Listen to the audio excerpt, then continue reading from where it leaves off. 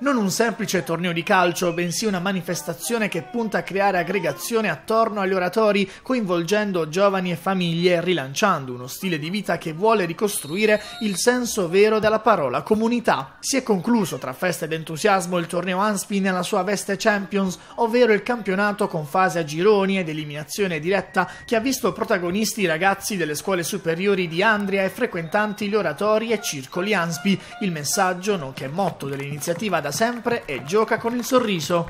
Teniamo sempre ben fermo un punto che è quello di giocare con il sorriso e nel rispetto di, eh, dell'avversario, dei nostri amici di squadra. Eh, è stato come sempre un torneo che eh, senza nessun intoppo, con la gran voglia dei ragazzi di fare amicizia, di giocare e di divertirsi. Le finali si sono disputate presso l'oratorio del Cuore Immacolato di Maria. A vincere il torneo è stato il circolo Anspi Don Pierino Gelmini, ovvero San Paolo Apostolo, che ha battuto 4-1 l'altra finalista Cuore Immacolato. Partita bella e sostenuta da tanti amici e parenti accorsi per vivere una serata come una vera comunità. Il premio della Coppa Disciplina a merito alla squadra più corretta in campo è andato a San Domenico Savio Flavio, parrocchia Crocifisso, terzo posto per la Santissima Trinità, miglior giocatore Luca Liso di San Paolo, miglior calciatore fair play Raffaele Lomuscio del Cuore Immacolato, una festa dello sport in tutti i sensi in un momento in cui la città di Andria necessita di maggiore serenità e spensieratezza con uno sguardo che mira a far crescere i propri giovani